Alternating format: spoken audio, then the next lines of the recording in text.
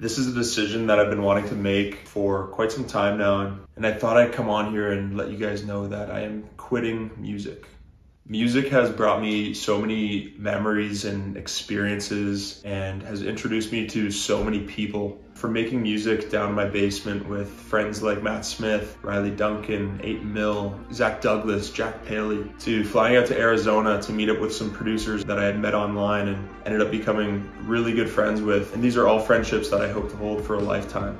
Kenny, Arcane, Benny, Ethan, Danny, Poppy Chu. I just want to say thank you guys. I really appreciate you. I hope that we can continue these friendships forever. I just want to thank all my friends and family and my fans who have been supporting me throughout all these years and it really kept me going. So thank you guys. I, I really do appreciate it.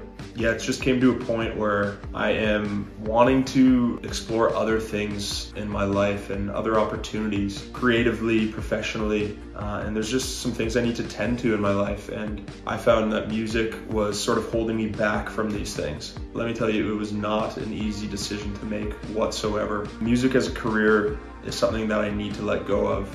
But I'm not leaving you guys empty handed.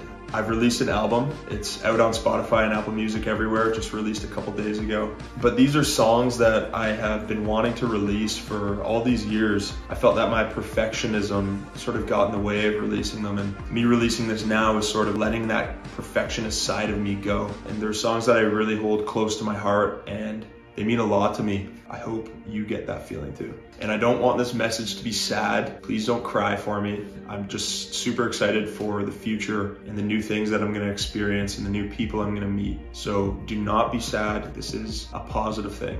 I really appreciate all the support that you guys have given me through all these years and all the people I've met along the way. Thank you so much. Much love, guys. Take care.